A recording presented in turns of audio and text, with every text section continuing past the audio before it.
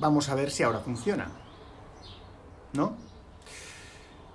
Estaba diciendo antes, em, ha habido un problema técnico y el, y el vídeo se ha cortado. Eh, lo siento. Voy a volver a empezar porque, como dije antes, quería que este vídeo estuviese entero, sin cortes y sin edición ni nada. Voy a hacer este directo en Twitter y lo voy a subir sin editar, sin cortar, directamente a YouTube.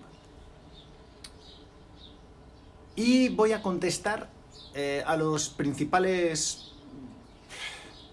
pseudo argumentos o los principales, las principales chorradas que han ido saliendo en los comentarios que me han dejado los sectarios de los biólogos por la verdad después de que eh, los del grupo Biólogos por la Verdad dejaran eh, mi vídeo en su canal de, de, Telegram específicamente pidiendo que me bajaran el vídeo, cosa que no vais a conseguir. Bien, lo primero es el tema de los insultos, lo primero que quiero comentar. Y es que hay mucha gente que me está diciendo que por el hecho de que yo insulte a los, a los mentirosos y a los embaucadores estos, eh, estoy desacreditándome y por tanto mis argumentos ya no valen. Eso no tiene ningún sentido. Yo no sostengo mi argumentación en los insultos. Eso sería una falacia ad hominem y en ese caso tendréis razón. Pero no es lo que yo hago. Yo los insulto, por un lado, digo que tienen menos luces que un árbol de Navidad en agosto, y los llamo negacionistas, que por cierto no es ningún insulto, es una observación. Cualquier persona que dogmáticamente niega una realidad científica comprobada es un negacionista, y por tanto llamarles negacionistas no es insultarles, es definirles. Pero mm, admito que decir que tienen menos luces que un árbol de Navidad en agosto es un insulto. Sin embargo, mi argumentación no se sostiene en un insulto. Mi argumentación, en 15 puntos, se sostiene en pruebas científicas. Pruebas científicas que, por cierto, podéis dejar de pedirlas en los comentarios porque las tenéis en la descripción del vídeo. O sea que dejad de hacer el tonto y abrid la descripción, que es que además lo ponen un cartelito abajo, dice abajo, las referencias científicas en la descripción. Basta con hacer clic en la descripción y cuando se te despliega, ahí vais a ver las referencias científicas. Así que déjate de pedir referencias científicas. El caso es que me hace gracia porque me, repetís mucho eso de que los eh, argumentos, o sea, de que los insultos están desacreditando mi argumentación, cuando no es así, porque mi argumentación se sostiene en pruebas, y por otro lado, la mayoría de vosotros me insultáis. ¿No os dais cuenta del absurdo? O sea, me estáis diciendo que yo no tengo que insultar, pero luego vosotros me insultáis a mí. Y ojo, porque esto es la clave, me insultáis y no presentáis argumento alguno. Es decir, toda vuestra fuerza argumental está en los insultos. ¿No os dais cuenta del argumento? Me estáis acusando a mí de algo que no he hecho, pero que vosotros mismos estáis haciendo. Dadle una vueltita a eso. Dadle, dadle una vuelta. A ver qué tal. Otro, mm, otra, otra movida es lo de apelar a mi valentía. Eres un cobarde, eres un cobarde. ¿Y qué? ¿Y qué? Puedo ser valiente, puedo ser cobarde. ¿Influye eso? No influye lo más mínimo. Eso es una apelación a dominem otra vez. Mi valentía o mi cobardía no resta en modo alguno valor a mis argumentos. Mis argumentos tienen valor propio por su estructura argumental y por la base en la que están sostenidos, que es una base científica, que son pruebas científicas. De modo que puedo ser cobarde o puedo ser valiente, eso no influye. Lo mismo que los que me piden que les diga cuál es mi formación académica. Bueno, yo soy doctor en biología, soy tengo tengo una licenciatura en biología, un máster en, valoración de riesgos naturales, en el cual, por cierto, estudié también epidemiología, y un doctorado en biología. Pero es que yo podría ser fontanero, o, limpiador, o, eh, yo qué sé, piloto de avión, taxista o cerrajero. No cambia el hecho de que mis argumentos son sólidos. Mis argumentos se sostienen en pruebas científicas. Y por tanto, como decía aquel proverbio, la verdad es la verdad, la diga Gamenón o su porquero. Ese clasismo asqueroso y titulitis que buscáis con dime cuál es tu, tu, tu profesión o tu formación académica.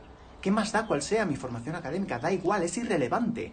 Hay premios Nobel que creen en la homeopatía y hay gente muchísimo más humilde que tiene un conocimiento científico mucho más profundo. Así que dejad de buscar a ver cuál es la formación académica que tengo, da igual. Yo podría ser, como digo, podría ser arquitecto, o podría ser sacerdote, o podría ser barrendero, o podría ser doctor en física. Daría igual, el peso de mis argumentos es el mismo. El peso de los argumentos no radica en quién soy yo, radica en las pruebas que existen, las pruebas científicas en las que se sostienen esos argumentos. Así que dejad de, de, preguntar. Yo soy doctor en biología, si os interesa tanto, pero como digo, da igual. Y si queréis mi número de colegiado, lo tenéis en mi página web. Y mi página web la tenéis en la descripción. O sea que estáis pidiendo datos. Por cierto, algunos me criticáis porque no me presento. Bueno, pues yo al principio del vídeo, de este no porque me trae sin cuidado, pero al principio de los vídeos en mi canal digo, hola, soy Baringüeyon de Curiosa Biología. Ahí me estoy presentando. Si tienes más interés en saber quién es Baringüeyon de Curiosa Biología, googlea o entra en la descripción y ahí encontrarás mi página web personal. Entras en mi página web y vas a ver mi currículum. O sea, que es que tampoco es tan complicado. Tenéis la capacidad investigadora de una ameba. Y así os va. Que os creéis las gilipolleces de los cuatro sectarios de turno. Em, vamos a al, tema, al tema del currículum, quiero insistir en algo en el tema del currículum, y es el valor que le dais a que Cary Mullis tiene un premio Nobel y fue el inventor de la PCR. Bueno, pues sí, Cary Mullis tiene un premio Nobel precisamente por desarrollar la técnica de la PCR. ¿Y qué? ¿Y qué? Cary Mullis creía que, que hablaba con un mapache alienígena luminoso. Y eso es así, o sea, lo dijo él mismo. Así que ¿Solo porque es un premio Nobel debemos asumir que existen eh, mapaches alienígenas luminosos? No, ¿verdad? Los premios Nobel se equivocan. Los premios Nobel son seres humanos y se pueden equivocar como cualquier otra persona. Y que tenga un nivel académico alto y que haya ganado un premio relevante no lo hace una autoridad en todo. No es así, no es así, no funciona así. Si el inventor del paraguas descubre que alguien ha modificado ligeramente el diseño de su invento para clavarlo en la tierra o en la arena de una playa y dar sombra. Y él dice, no, no, no, mi invento era para llevarlo en la mano y parar el agua cuando llueve, para cubrirte del agua. Bueno, vale, tu invento servía para eso, pero hemos avanzado en el conocimiento y hemos descubierto otras formas de aplicar tu invento a otros problemas. El, invento original de Carimulis, lo que Carimulis desarrolla es un sistema de amplificación de ADN aleatorio. Es decir, amplifica cadenas aleatorias de ADN y las haciendo que de unas pocas haya muchas. Es una fotocopiadora de ADN. Lo que pasa es que la, eh, cuando en vez de utilizar el protocolo que, que inventó Carimulis, mejoramos ese protocolo utilizando cebadores específicos de cadenas concretas, lo que hacemos son amplificar esas cadenas concretas. Si la cadena está, la encontramos, y si no está, no la encontramos. Por eso, el invento de Cary Mullis, que es la PCR, modificada, puede servir para identificar o para encontrar la presencia de un virus. Ya está, no tiene más misterio. Y que Cary Mullis negase ese hecho hasta la muerte no hace que la PCR no sirva. La hemos utilizado para pruebas forenses en, casos de, en crímenes o, las, o la hemos utilizado, por ejemplo, para las pruebas de paternidad. Entonces, negar que una PCR sirva para encontrar una cadena específica de ADN, como negaba Carimulis erróneamente, implica negar que las pruebas de ADN que se han hecho para todas estas personas que ahora mismo están en prisión porque los encontraron culpables gracias a una prueba de ADN encontrada en la, escena de un crimen, están en la cárcel eh, sin pruebas. Es afirmar que están sin pruebas. O es afirmar que las pruebas de paternidad, que sirven para, verificar que una persona es padre de, otra, eh, son eh, pruebas que no tienen validez.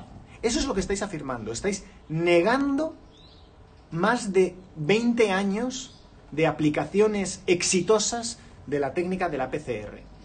Estáis negando, eh, pero bueno, eh, recordemos que hablamos de gente que está negando la teoría eh, microbiana de la, enfermedad infecciosa, así que lo de negar la realidad es algo que se os da bastante bien.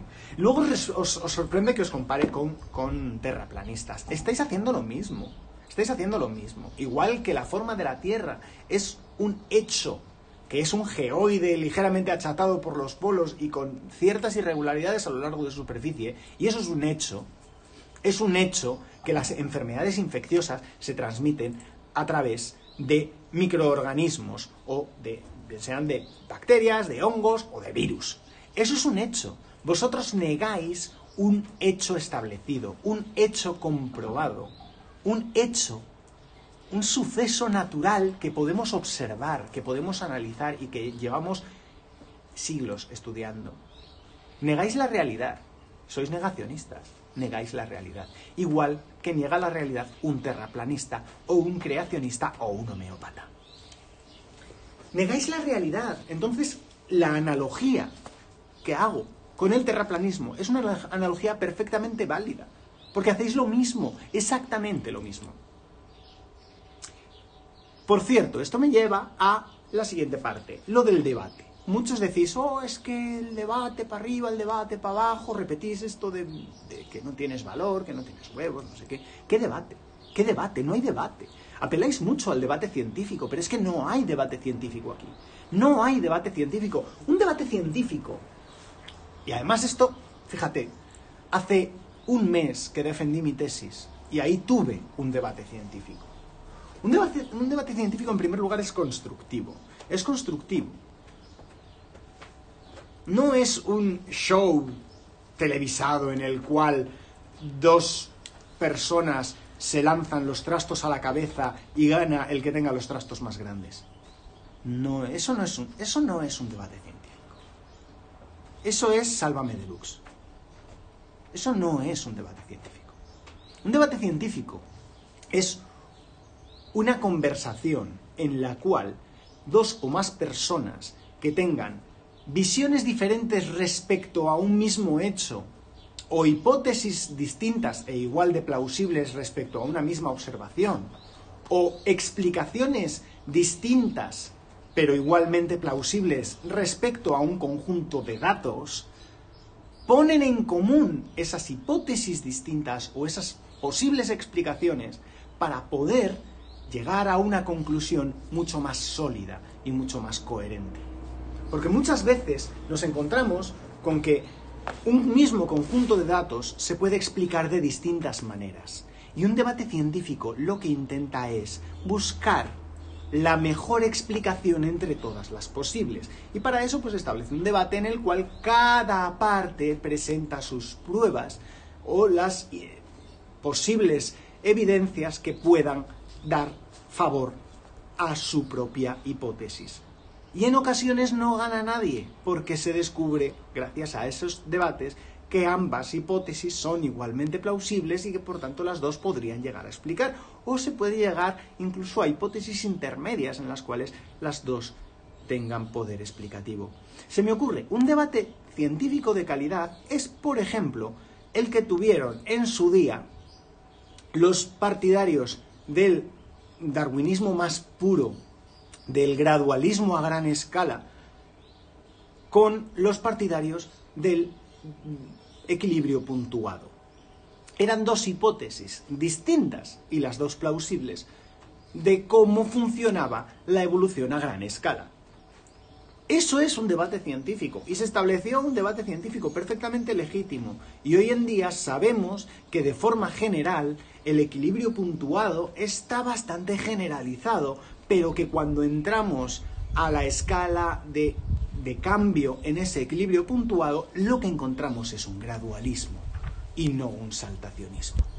Es decir, se generó un debate científico y a partir de presentar las pruebas científicas se llegó a una conclusión mucho más sólida que las que había previamente. Eso es un debate científico.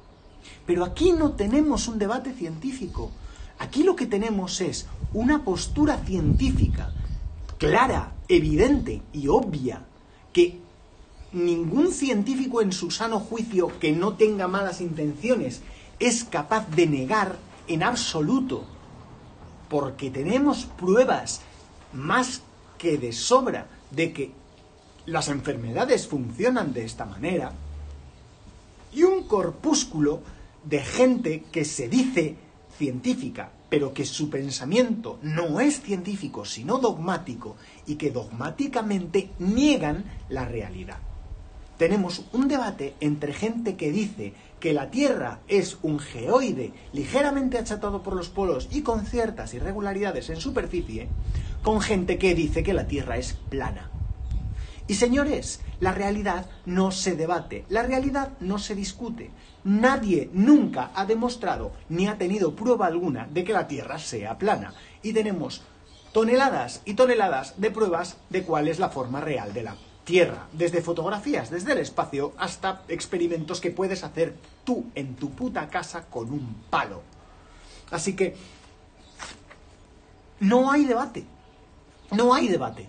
Lo que vosotros queréis no es un debate. Lo que vosotros queréis es una exhibición pública. Pero eso no es un debate.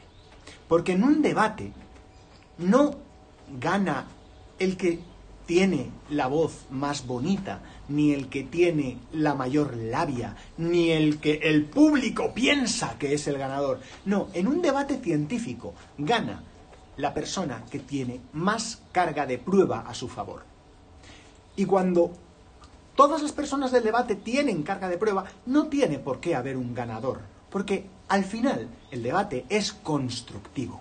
Pero en este caso, lo que vosotros queréis no es nada constructivo, no es un debate. Lo que vosotros queréis es un espectáculo, es una batalla de argumentos que no importa que estén o no basados en conocimiento científico, porque vosotros vais a negar el conocimiento científico como ya lo hacéis, como lo habéis hecho muchos en los comentarios, y como lo hacen, como hemos visto, los biólogos por la verdad en su manifiesto y en todas sus milongas. Vosotros no queréis un debate, vosotros queréis un espectáculo. ¿Y sabéis cuál es el problema de los espectáculos? El galope de Guiche y la simetría de Brandolini. Y os voy a explicar muy brevemente lo que es cada una de esas dos cosas.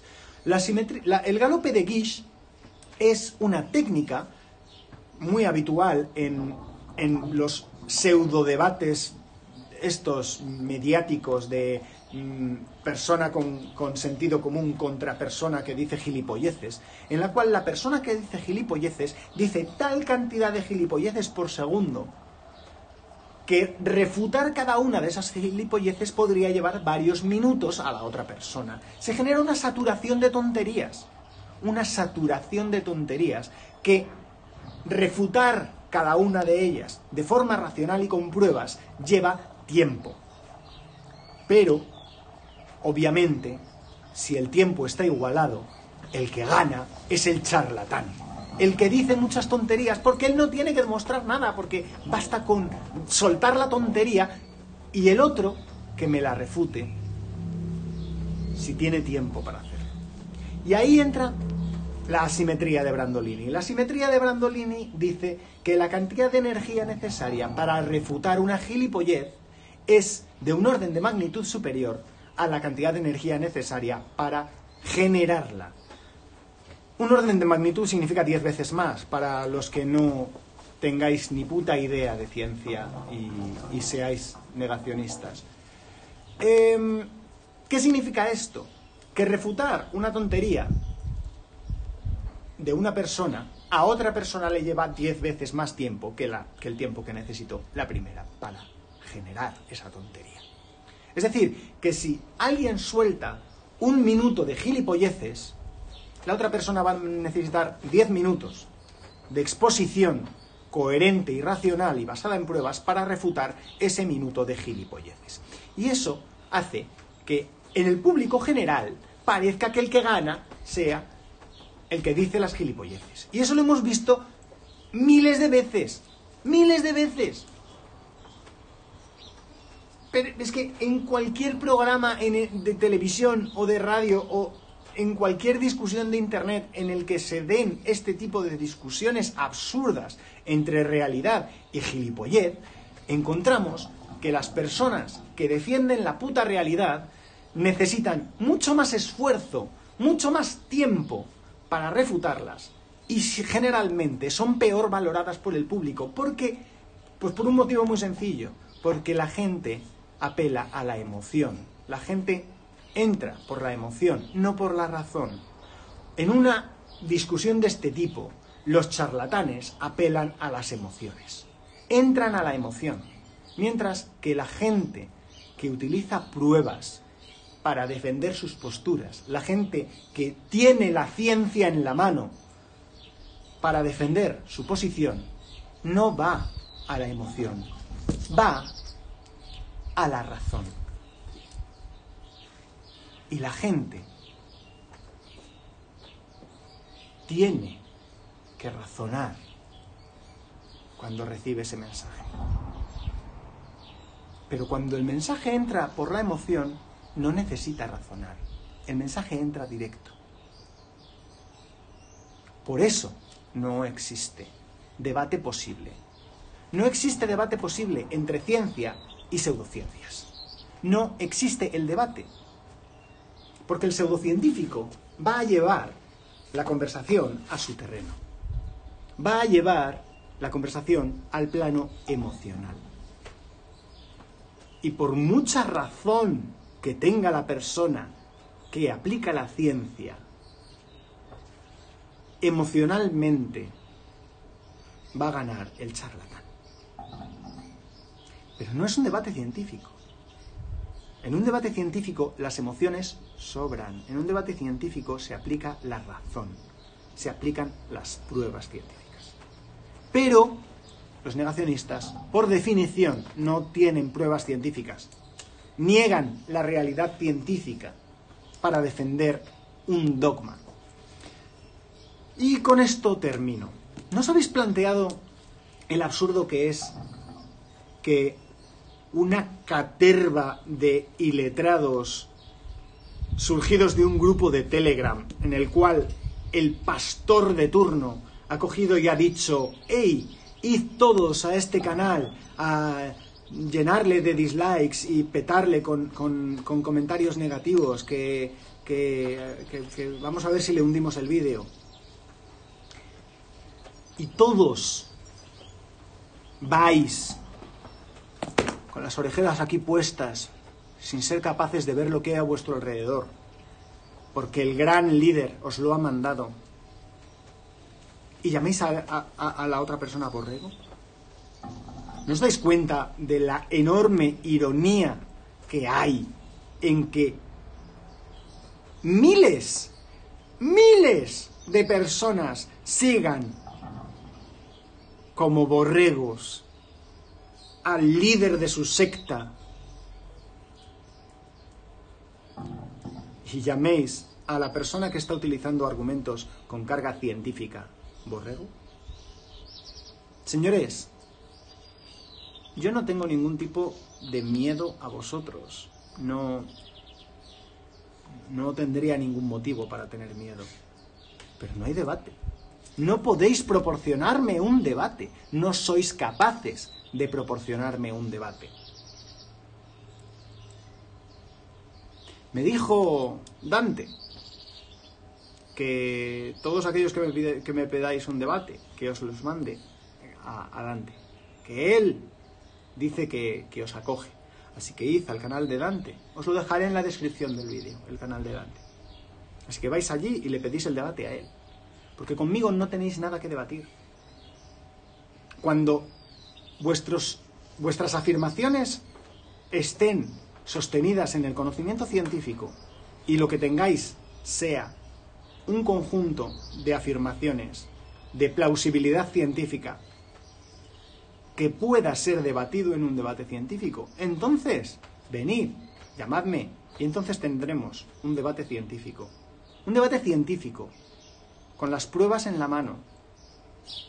No un show televisivo, no un espectáculo de tres al cuarto. Yo debates científicos los que queráis, pero yo no voy a ir a Sálvame Deluxe a tirar los trastos a la cabeza a un gilipollas. No lo voy a hacer. No hay debate ahí. No hay debate. Así que nada, por cierto, hoy me he venido con el pelo seco, porque al parecer a algunos os molestaba que, tuviera el pelo húmedo de, haberme duchado media hora antes y, me pedíais que me duchara. Me había duchado media hora antes y tenía el pelo húmedo todavía, se puede ver en el vídeo que está, estaba con el pelo mojado. Pero bueno, para que no tengáis ese, ese, problema, hoy me he venido con el pelo seco y me he venido bien peinado, ¿vale? Para que no... O sea, yo en realidad me he duchado ayer, eh, así que hace, en comparación con el otro vídeo, hace más tiempo que no me ducho. Eh, pero bueno, y a los que me llamáis drogadicto, pues chicos, el café tampoco es una droga tan dura. Y es la única que he consumido en mi vida. Así que, allá vosotros. Venga, a decir gilipolleces a otro lado. ¿Vale? Si venís, que sea con argumentos, no con tonterías.